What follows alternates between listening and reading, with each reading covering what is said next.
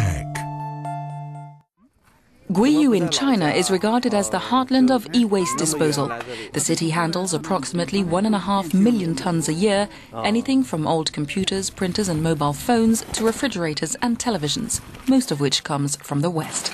Recycling this waste is a dangerous activity. According to environmentalists, thousands of lives are being put at risk by toxic chemicals seeping from used electrical appliances. And Greenpeace China says harm is no longer limited to Chinese waste handlers. In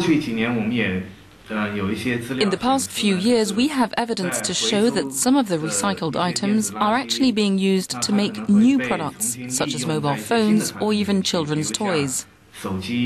These new products may be poisonous and will affect people's health.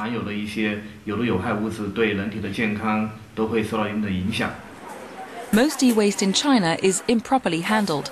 Much of it is incinerated by backyard recyclers to recover valuable metals such as gold, a practice that releases toxic pollution and allows for very little metal to be recovered in the end.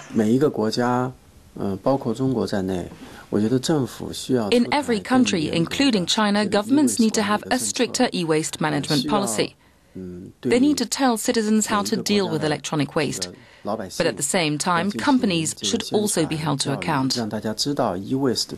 They aren't just responsible for producing and selling the things. They should also be responsible for dealing with their products after they've been used.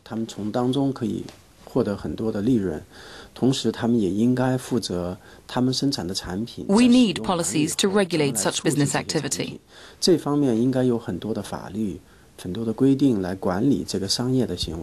Exporting waste to developing countries is up to 10 times cheaper for Western nations than dealing with it at home. E-waste is expected to continue growing exponentially, posing a real problem not only for countries like China, but also South Africa and India.